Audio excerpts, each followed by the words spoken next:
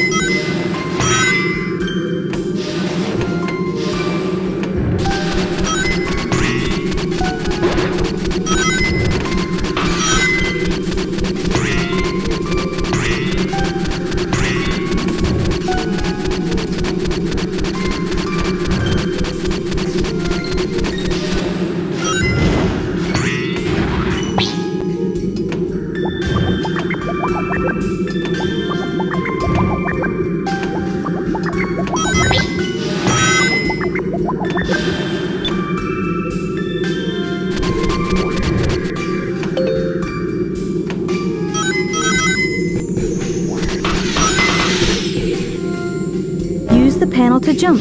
It may even help guide your way.